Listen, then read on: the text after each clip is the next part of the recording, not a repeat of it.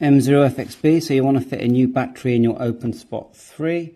Well, this is what you get from Shark RF, SRF, OSB BAT. So let's just open it, it's literally just been delivered. Have a look and then watch the rest of the video for installation. Oh, I see how they do it now. So they don't just give you the the um, the battery, they actually give you a new back because it is stuck down quite well and you'll see in the video the next part of the video me installing a, you know the uh, a, basically the same battery that I took off. But it's the same procedure so it does come with a new back. So I can see why it costs more. This is about 50 pound delivered but it, it, it's literally plug and go then because the hardest part was unsticking the battery. So watch the rest of the video M0FXB, welcome to my channel. Let's change the battery on an OpenSpot 3. So let's just uh, pull it apart here. Now first thing to do is turn it off. Now the battery has lasted about two years, so we're just going to hold down the on button until it goes quiet. There you are, it's gone quiet. So now we're just, I find just easier just to pull it from the side. Like so, now be careful, don't pull too hard, but it will go. See that? Just lifts like so making sure it's off. Just remember that these two things, when you put it back together, you have to line through the holes, otherwise they can get jammed. So then just get yourself a T, I think it's T4, this one, T4 by 40 millimeters. And providing it's off, you can uh, start taking these four screws off. Now, if you want to disconnect the battery first, to be on the safe side, you literally just lift it up. Like so. I use toothpick. It doesn't push into place, it just put it will go forward, it just lifts up towards me. So then you just take these four screws off, like so, it all comes apart. Now I have already had the battery out of this, so the battery is glued at the back, and it is, it does take a bit of patience to get the battery off if you don't want to damage it. If you, if you don't mind damaging it, it'll come off easy. So you just lift that out, and then the whole board will just, and the screws will fall off will come off like this. Now, this battery has been off. I'm going to take it off again. But what I did, I just got my trusty hair dryer. Okay. And I warmed up this side very warm without damaging this label. Very warm. Yeah. Um, and then what I did, you need a bendy bit of plastic, probably a bit thinner than this which you can bend and sort of gradually ease in like that and keep warming it and keep easing, go all the way around. I didn't go this way, I didn't want to damage this. And just keep going like that. And I'll do it a bit now, but it should just lift out now uh, with a bit of luck. Because it's already been out, this battery. Now these batteries, are about £80 delivered in the UK, which is really disappointing that we have to pay so much for a battery.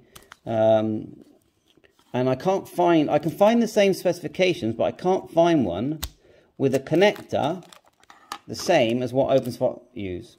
They've got uh, red, yellow and black wires. Um, there's the specs there, 3.7 volts, 1200 milliamps. Nice typical, you know, battery. Um, there's a close-up view there if you want to that. Now, I'm guessing that you could buy one of these batteries and then solder, see you've got three solder points there, this cable onto it. But I'm not going to do that.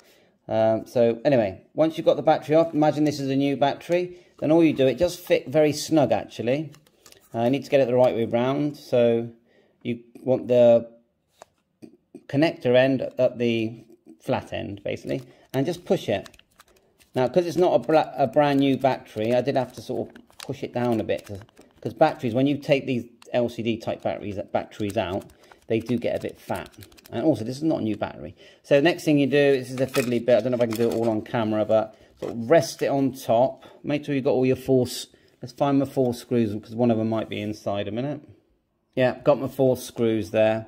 And then rest the board on top. Just remember the board is connected to the Wi-Fi, so just don't yank it. You could disconnect that. It just clips up the, the Wi-Fi connector, but I'd rather not.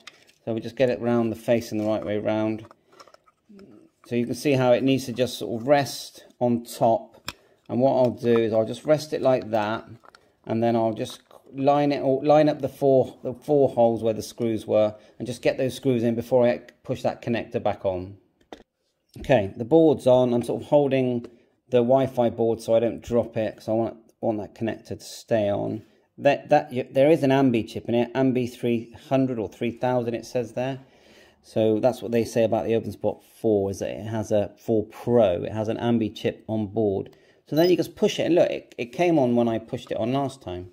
And it comes to life. Now, it's such a shame that the battery has only lasted two years. But I my advice is don't keep this on all the time. Only turn it on when you're actually using it. Because with normal hotspots, you know, we just leave them on, don't we? And because we just do. There's no battery.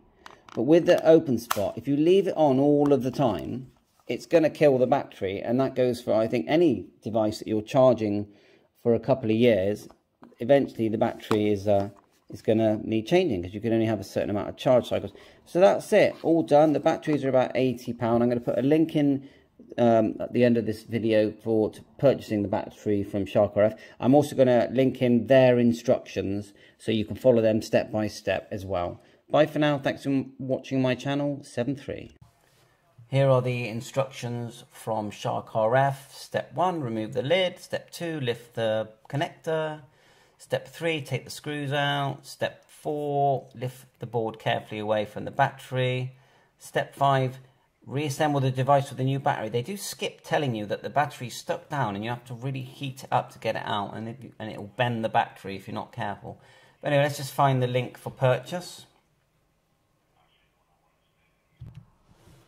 So it says here buy, the link will be in the description. Click buy.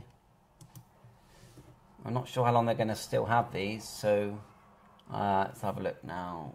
52 euros and put your billing address addressing. Shipping's 23. So the actual battery price is fair. It's just the shipping and then the tax.